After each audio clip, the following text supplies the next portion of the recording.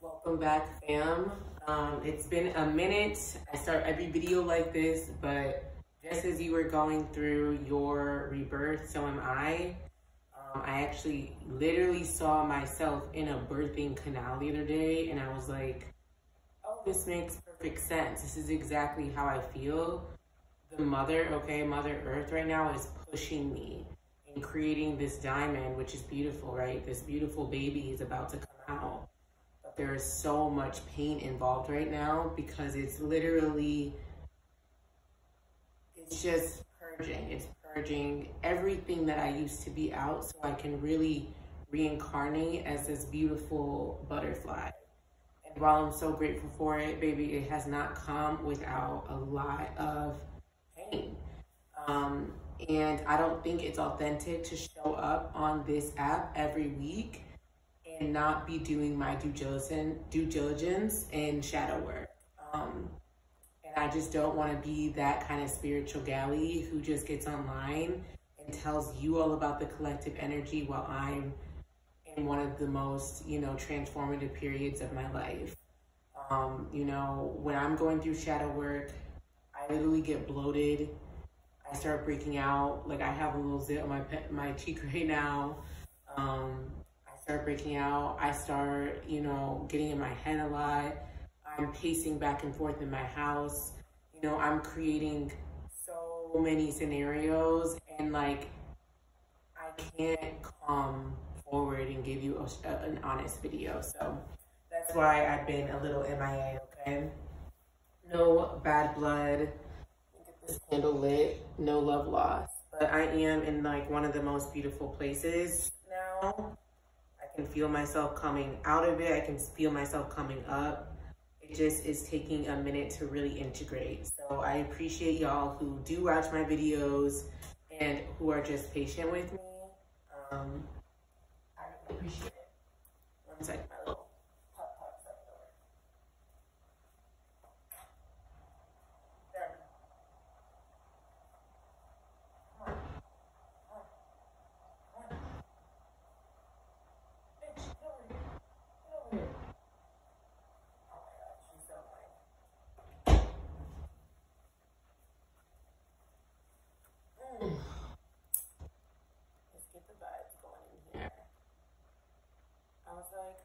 I was like, y'all already know that your girl is probably going to be channeling some kind of song today. I've been channeling that. I've been channeling a lot on love.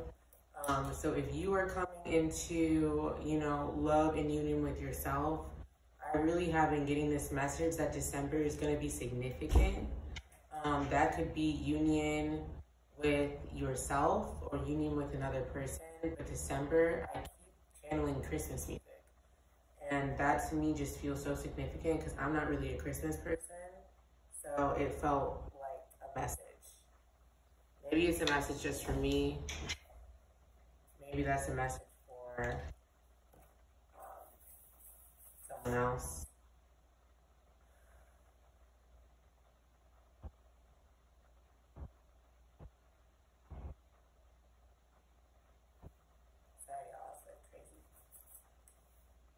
on camera.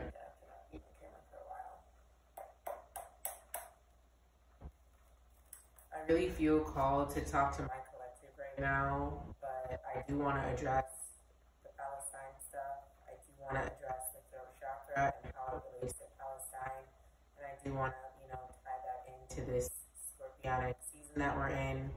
Um, sidereally, I believe that we are actually in Virgo still.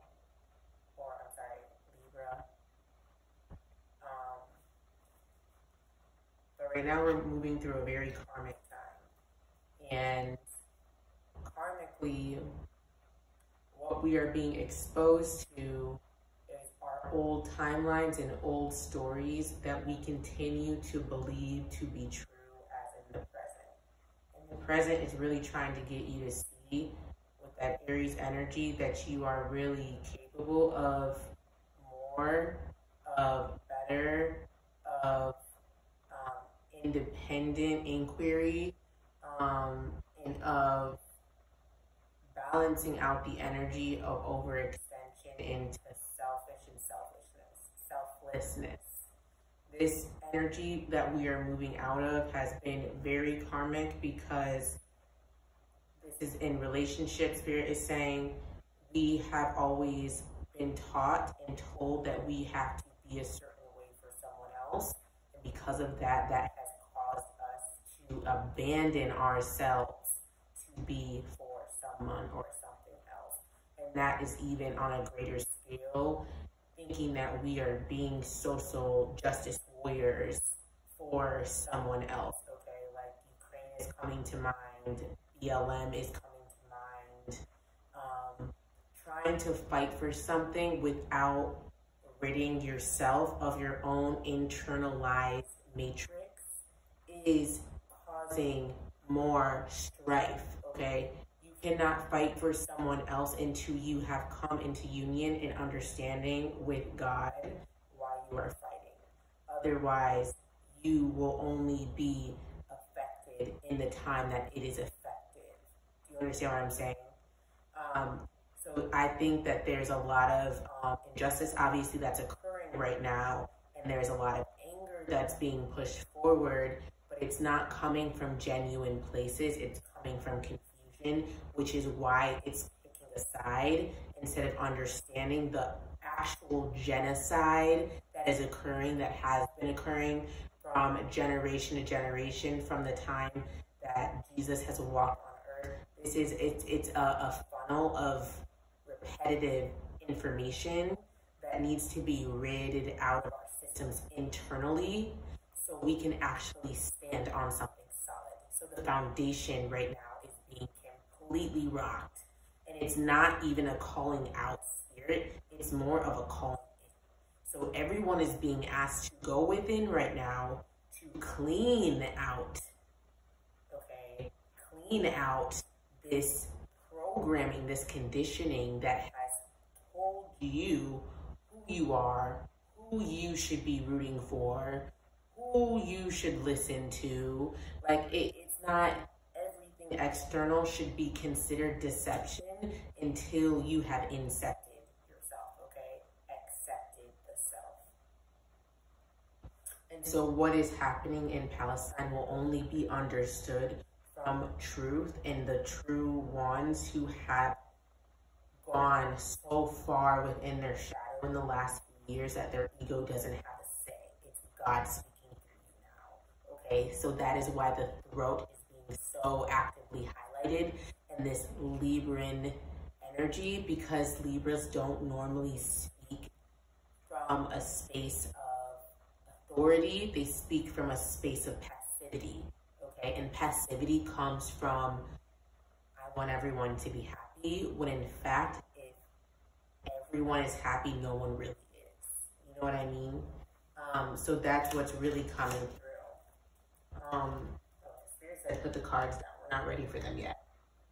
Um, so yeah, I want that to be very highlighted right now. I want you to realize that we are only up, like, it's like the head is showing, but we still maybe have an hour, okay, which in the, the, this timeline that we're in, an hour could be days, it could be a month, it could be two. We're, we're getting close, there's still some residual shit that's happening that's keeping the baby from coming out fully, okay? So right now is not a time to really be focused on the external pain. It's a time to focus on the internal pain because it's kind of a sense of urgency. What you've been avoiding for so long needs to be seen and dealt with so we can really get to the bottom of this so we can really see? And that's what Venus is really teaching us. It, it wasn't really, you know, trying to just put you out. It was really just trying to show you how you continue to rush things when you haven't really set up a solid foundation. It was showing you how you continue to overvalue others before you value yourself. It was teaching you how you still choose to try to be an adult before really healing the inner child. We have a responsibility to ourselves. And that's that's the lesson here. We have a responsibility to ourselves and not to our the corporate company we work for, not to you know the the, the, the, nine to five. It's not to this material made world that you think was made for you. Like it's it's a responsibility to make a world you want to be in, not participate in a world that controls you. You know what I mean? And this is why like when people say like you create your reality, that's what they mean. Like, what world do you want to participate in? And that's how you start your day. Okay, create your day around that energy. I want to start my day with a, a boudin kolache and some eggs. Okay, the first thing I'm doing is getting my mental right. I'm gonna meditate. I'm gonna sit at my altar with my ancestors, and then I'm gonna go to the donut shop and I'm gonna get that boudin. Okay, and I'm gonna come home, and then I'm going to start my day from there. And maybe that today looks like studying my a new language okay? And maybe today that's an hour of study and then an hour of play followed by you know reading a new book that i just found. That is like how you are creating your day because that is creating knowledge. When you have knowledge around something that you enjoy how can you then turn that into something that someone else might enjoy but they don't like it packaged in that way they like it packaged in the way that you do it or you present it because you really took the time to create that, you now have this to give. That's literally what we are in right now. We are learning how to implement the creative reality into a structure or a form to pass off to others in service to humanity. Okay, that is literally Saturn and Pisces. It's the dream meeting the material and making a baby that is so necessary. It is so personal that it inspires other people in humanity to dream. And that's what spirit wants from you. So you may have been saying for the longest time, like, I want to write a film, or I want to write this book, or I want to graduate and finish this dissertation, or I want to have my own shop. So spirit is just getting all the elements okay ready for you so you can implement them into a structural position so it will be accepted widely by an audience that is waiting on you. But you are what is necessary, okay? So right now, Spirit is really talking about getting your throat right because it's not only what you speak to, it's what you write. It's what you communicate voice, if it is blocked, if your throat chakra is blocked, you're not going to be able to really get out the message that Spirit has for you. So Spirit may be having you sing. You may not even be good at singing, but Spirit is just having you, sing right now because singing is what is necessary to get your energy um, open enough. And then one day you're going to be singing some song and you're going to be like, whoa, that did not really sound like me.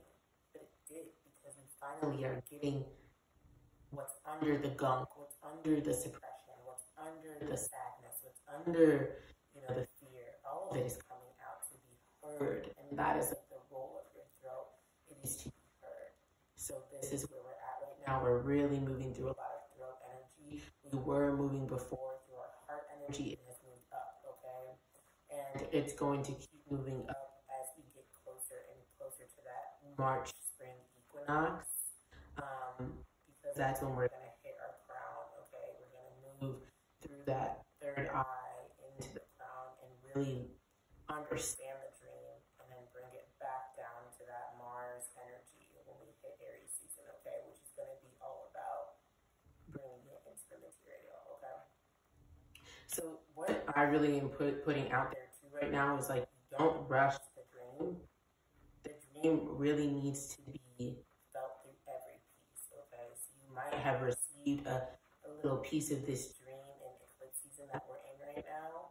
And this is actually getting you prepared to start, okay? But it won't be materialized or finished for a few months to a year from now. So it's like, don't rush it. Just allow yourself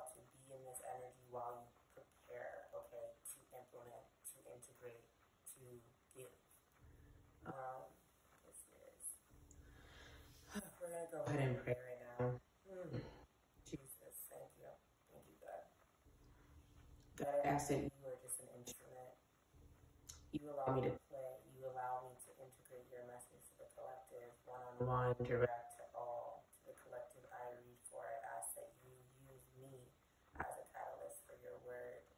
I ask that you bring us closer together through tears, through laughter, through um, understanding that what we are doing together is um, of greater good, is of greater service, is of greater understanding for what and who you are for us, and understanding that we are you through all of it. You're universal. We're interconnected. And it is through your word that we truly inspire and we truly get to love each other.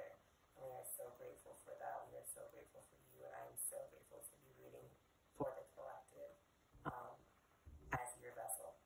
Thank you, God. Mm, mm.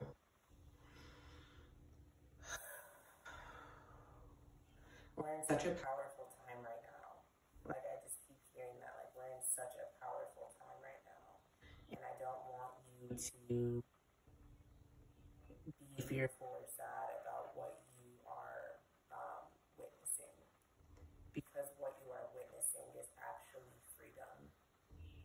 Even though there's casualties and even though there's death, um, we are really witnessing the jubilee. Okay, and Spirit has really been pushing me into reading the Jubilee. I just started it. I'm nowhere near finished, so I don't want to speak to it um, fully. But I went to a festival, as you guys know, in June, and there was a tent or a stage called Jubilee. And then I was driving home the other day, and I saw this billboard, and it said the Austin Jubilee. And I just was like, that word, just what the fuck does Jubilee mean? I need to look it up. And um, I saw it again somewhere. I don't even. Oh, this girl was talking about the Book of Jubilee, which was a book that's missing from the Bible. And I was like, okay, Spirit, this is the third time I've been um, getting a lot of messages in threes lately. So three, three, three could be significant for you, or three could be a life path three. Um, but this is what I want to talk about because I just think it's really important. But Jubilee um, means especially uh, a celebrated anniversary, specifically a 50th, a celebration of such an a season or occasion of joyful celebration.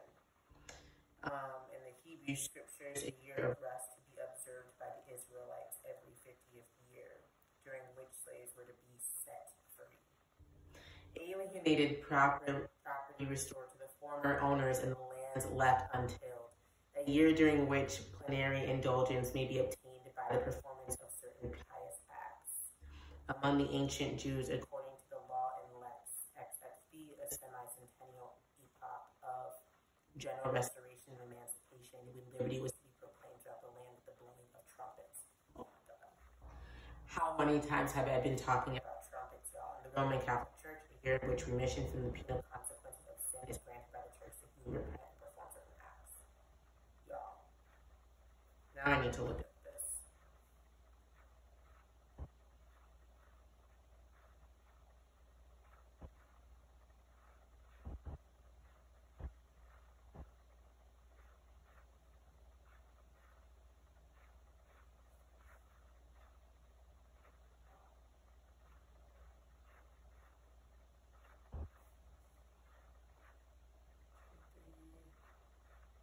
Where's my calculator?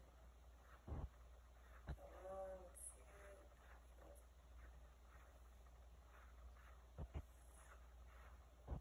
This is crazy. 20. 23 minus 19.